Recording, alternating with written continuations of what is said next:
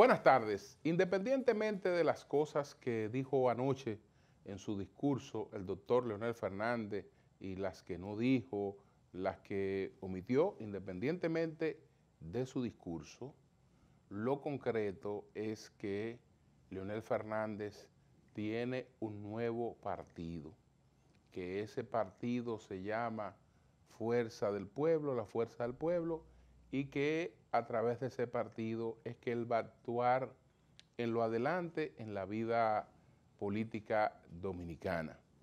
Él consiguió eh, la matrícula de ese partido que se llamaba el Partido de los Trabajadores Dominicanos.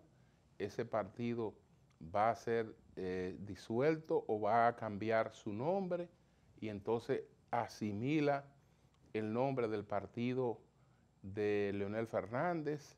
Leonel Fernández es el presidente, colocará la directiva y esa va a ser su plataforma política, con lo que ya le está significando que el conflicto con el PLD no es coyuntural.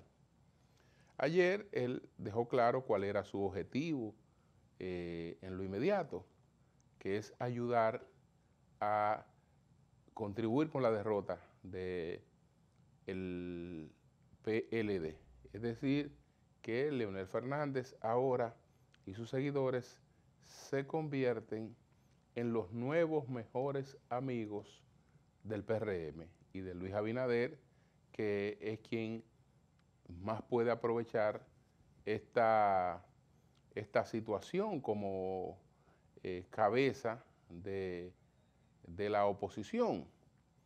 Eh, entonces, tenemos un, panorama político, el PLD en el día de hoy va a desarrollar unas asambleas, me imagino que son las respuestas de fortalecimiento interno, de consolidación interna, eh, para eh, enfrentar las renuncias que ha estado recibiendo por cuentagotas de seguidores de Leonel Fernández que pues están enviando su carta de renuncia eh, por distintas vías. Si van a renunciar 200 o 300 personas, lo están haciendo de manera individual para dar la sensación de que el PLD se viene quedando eh, prácticamente vacío a nivel nacional. Pero bueno, ya el PLD es una organización demasiado grande para eh, que se hable de vacío porque se vayan 300 o 400 de sus, de sus, de sus dirigentes.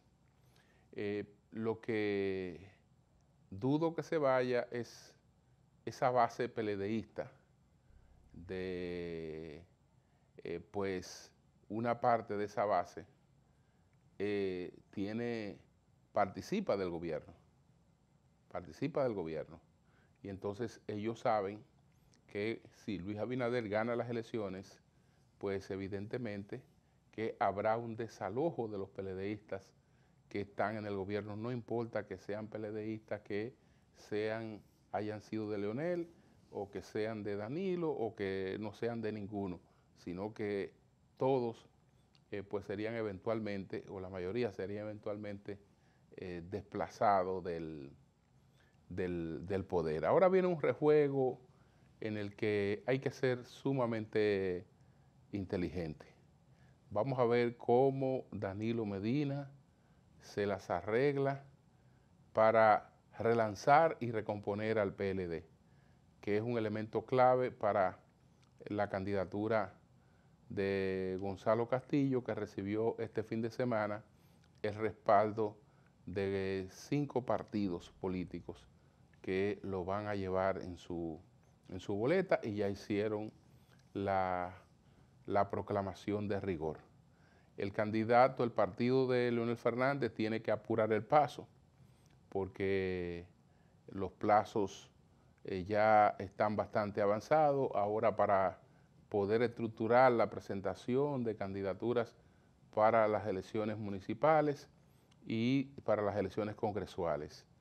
En algunos aspectos ya eh, seguidores de este nuevo partido han dicho que están en conversaciones con gente del PRM para eh, llegar a acuerdo de apoyarse en las elecciones congresuales eh, que se celebrarán junto a las presidenciales en mayo de 2020 y en las municipales que se van a desarrollar en febrero de este año.